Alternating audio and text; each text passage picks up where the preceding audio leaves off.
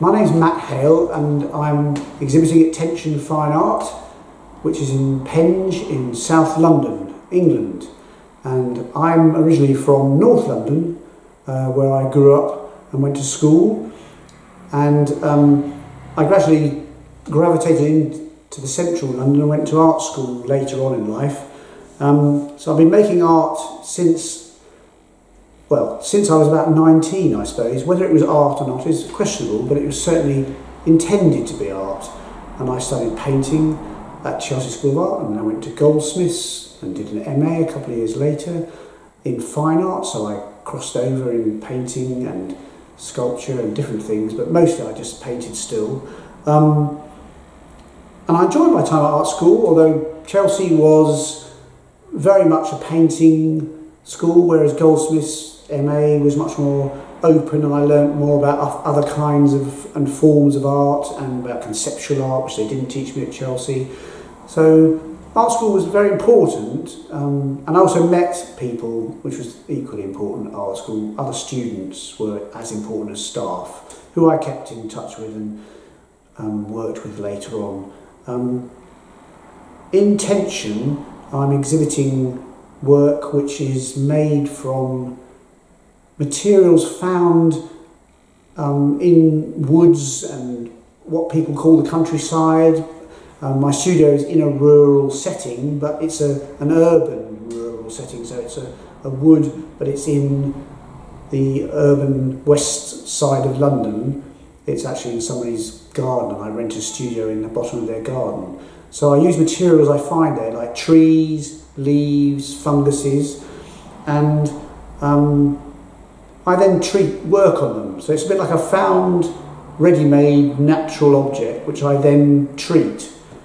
Um, and the title of the show is True Fictive Nature. And true fictive nature is a phrase coined by a writer called John Roberts. And it's been very stimulating to think about that phrase. Um, I was making the work and he came and saw it and then used that phrase. And I've sort of thought more about it. So the nature I'm, I'm presenting is sort of a fictive, it, so it could be from the past or the future. It's obviously nature presented in a way that couldn't quite be the case in real life, whatever that is. But if you split a tree in half, you don't find the core of the tree is plastic. Whereas in my show, there is wood presented in which the core of the tree is resin, and it appears that it was like that when I split the tree. And so the fiction is in the treatment of the nature.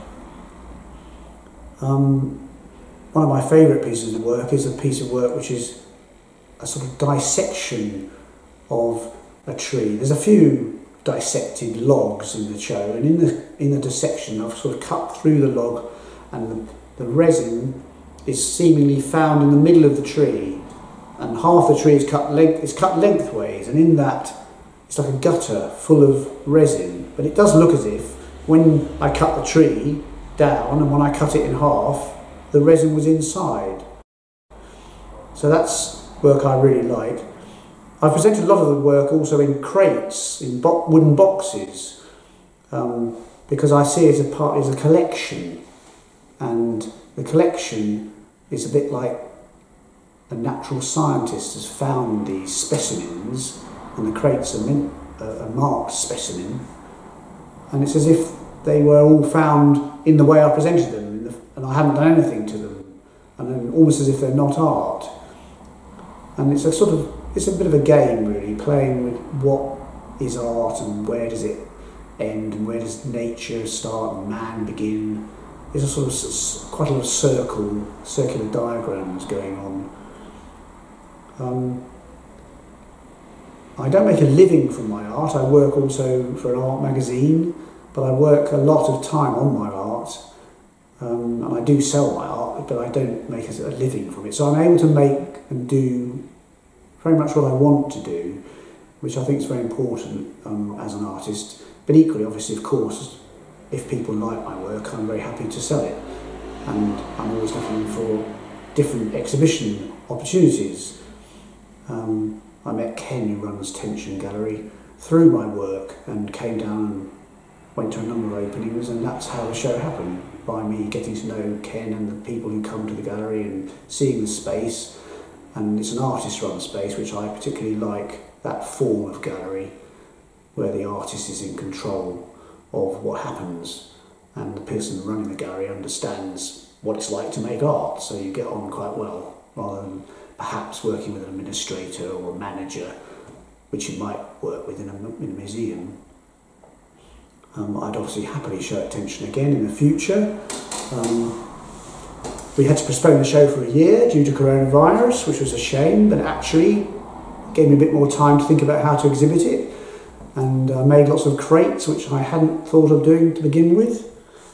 Um, my plans for the show and for the future of my work is to try and move this show to different spaces and, and see it displayed in different ways. Maybe bigger space with the work spread out more or not in the crates at all and perhaps the crates piled up closed with all the work on the walls. Um, but it's been very enjoyable to try and find out an experiment which is again what artist run spaces do enable you to do and I've been doing that all my life and I'm 62 thank you very much by the way, the show runs until the 31st of July. This is 2021, of course, and do come down and see it. And I'm quite often here, so we can talk about the work if you like.